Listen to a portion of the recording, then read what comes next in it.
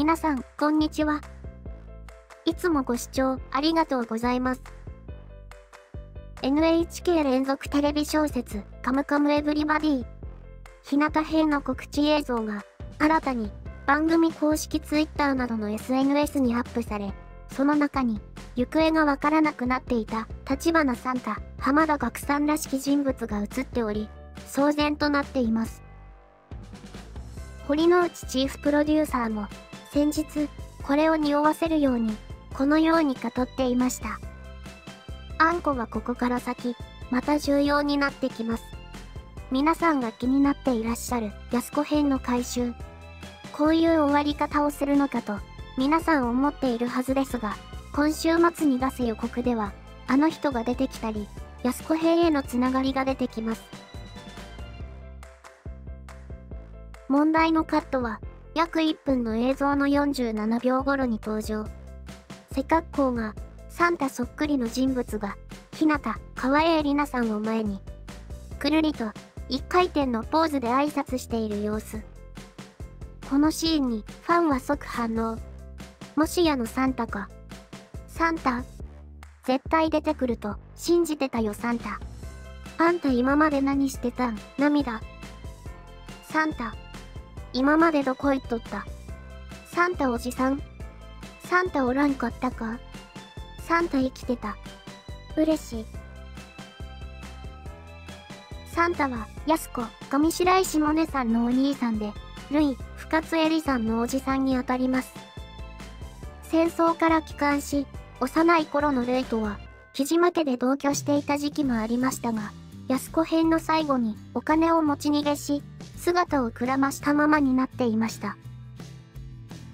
丈一郎、小田切丈さんや日向とは、当然、面識はないはずです。赤西さんなら知ってるのか？川栄さんが演じる日向は、1983年からなので、サンタであれば、70歳前後になっていると思われます。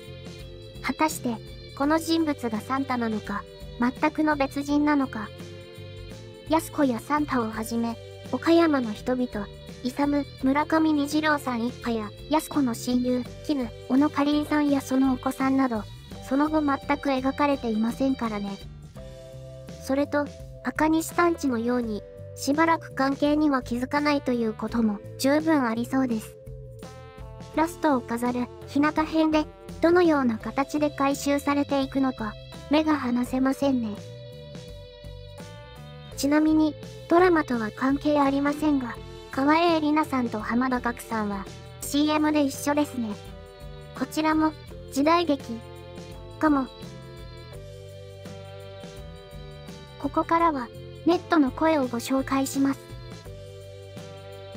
スタジオパークに VTR 出演してたが、老けメイクだったので、あるだろうとは思ってた。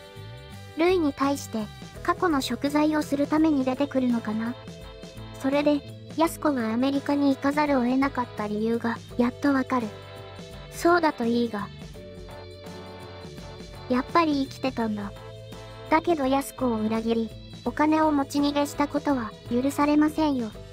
るいちゃんにも恨まれ、あの時の安子は本当に気の毒だった。だけど、ひなたちゃんがいつの日か、すべてをひなたの道に導いてくれそうな、そんな明るい予感がします。とりあえず元気そうでよかった。サンタかサンタのせいで、安子とルイが引き裂かれたと言っても過言ではないからな。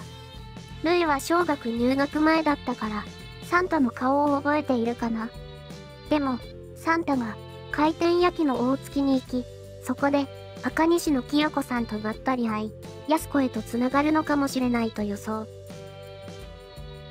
ルイとサンタが出会えたとして、失踪した事情を、ルイに話したら、どんな反応を見せるのだろう。逆上するのか、それともまさかの無反応。あと、サンタが、もし芸能界で活動しているのなら、ジョーを音楽の世界に引き戻す役割を果たしてほしいですね。とにかく、浜田学という期待の名手に演じさせた役である以上、取ってつけたような話にしてはならないし、脚本家も元よりそのつもりだろう。しっかり回収してね。今更サンタでもねえ。安子の身に起きたことを知ってるのか金を持ち逃げしたのは、安子は、木島家で暮らしていけば困らないと思ったからだろ。千吉が安子に話したことを、類にも全て話してればいいのだが、話さずに亡くなったようだから。頼りになるのは、絹ちゃんとその子供かな。サンタより、ひなたがまた、桃犬に会えるようなので、そっちの方が楽しみだな。兵役から戻って金を持ち逃げしてそれっきりだったので、ルイと絡む展開も面白そうですね。木島家の人たちもどこかで出てきてほしいな。ネットの声は以上です。最後までご視聴ありがとうございました。